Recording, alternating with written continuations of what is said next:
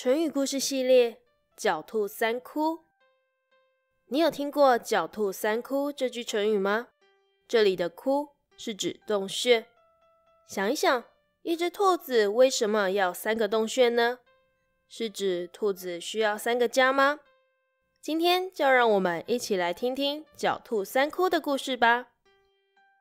战国年间，贵族之间盛行培养门客。齐国的孟尝君门下就有三千多个门客，也因此需要大量的金钱支出。孟尝君有块封地叫薛，他借钱给当地的百姓，再收取利息。某天，孟尝君想找个人帮他去薛地收利息，有一位叫冯轩的门客自愿前往。出发前，冯轩跟孟尝君拿了百姓们的欠条，并问孟尝君。收到钱后需要买什么东西回来吗？孟尝君回答他：“你看我家里缺了什么，就买什么回来吧。”冯轩到达薛地后，把那些欠了钱的百姓都找来，大家都到齐后，冯轩也不急着催讨钱，反而当着全部的人面前宣布：“孟尝君让我来转达他的意思，你们欠他的利息都不用还了。”冯轩一手高举着欠条，大声说：“这些是你们的欠条，我现在就把它们烧掉，以后你们就没有这笔负债了。”说完后，冯轩真的将那些欠条一把火烧光了。当地的百姓个个欢天喜地，高喊万岁。回到齐国后，孟尝君问冯轩：“你帮我买了什么回来？”冯轩回答。出发前，您曾经交代我说买家中缺的东西回来，所以我替你买了仁义回来。孟尝君疑惑的问：“仁义要如何买卖呢？”冯轩回答：“您只有削这一个小小的封地，却不好好爱护百姓，反而从百姓身上贪图利益，这样怎么行呢？所以，我假装是您的命令。”将那些欠条都烧掉了，百姓们都欢天喜地，高喊万岁。这就是我为您买仁义的方式啊！孟尝君听完后觉得不太高兴，但是欠条都已经烧掉了，只好挥挥手，叹了口气：“罢了，先生去休息吧。”一年后，孟尝君被齐王除去了官职，只能够回到他的封地薛。没想到，在途中就看到薛地人民争相出来迎接，大声欢迎喝彩。感到意外的孟尝君看着周遭的百姓，男女老幼都有。他回过头对身后的冯轩说：“直到今天，我才知道这就是您为我买的义啊。”冯轩对孟尝君说：“机灵的兔子也是要有三个洞窟，才能避开猎人的追捕。”逃过死劫，如今你只有一个洞窟，还不能让您无忧无虑，请让我为您再挖掘两个洞窟吧。孟尝君点头同意，那么就拜托先生了。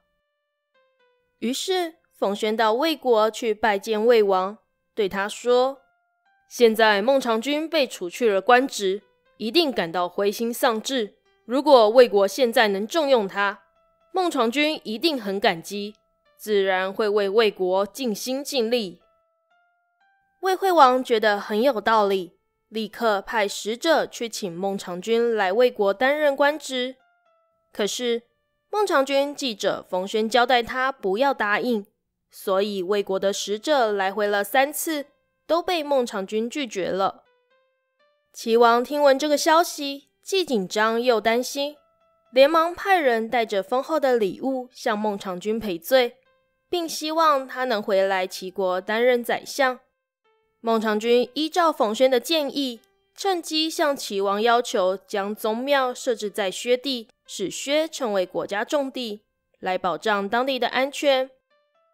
宗庙盖好以后，冯轩对孟尝君说：“现在三个洞窟都已经准备妥当，您可以无忧无虑了。”在孟尝君担任宰相的十几年间，都没有发生灾祸，实在是冯轩的功劳啊！因为有冯轩的三窟计策，才让孟尝君在担任宰相期间可以毫无灾祸。而冯轩所说的话，便衍生出“狡兔三窟”这句成语，是指有多处藏身的地方，或多种避祸的准备。我们应该学习冯轩，将目光放长远。对任何事情都能有多一层的准备，在遇到困难时，自然就能够从容应对喽。同学们，听完狡兔三窟的故事后，你还记得故事的重点吗？现在就让我带你一起回顾故事的重点吧。今天的故事《狡兔三窟》可以分成三个部分。故事的缘起，冯轩帮孟尝君去收债。却烧掉欠条，并说明是买人意回来。过程中，冯轩认为狡兔有三窟才能免于一死，愿意帮孟尝君再准备两个洞窟，所以冯轩给齐王压力，使他恢复孟尝君的官位，并向齐王要求将宗庙设置在薛。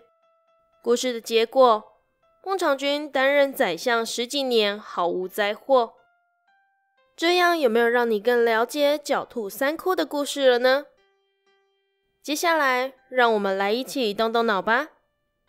过程中，你也可以将影片暂停，认真的想一想哦。准备好了吗？我们开始吧。如果你是孟尝君，听到冯轩用欠款帮你买义回来，你会如何反应呢？冯轩假装是孟尝君的命令，自己决定烧掉百姓们的欠条。你觉得好还是不好呢？说一说你的看法。上面两个问题，你有想法了吗？快和你的家人、朋友、老师分享吧。成语小教室，又到了成语小教室的时间了。今天的成语“狡兔三窟”是指。有多处藏身的地方，或多种避免灾祸的准备，主要是用来表达多处居所或是狡猾奸诈的情境。现在，让我们一起来看看“狡兔三窟”可以怎么使用吧。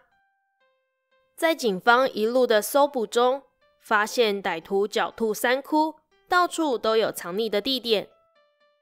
歹徒不停的变换躲藏地点，就像“狡兔三窟”一样。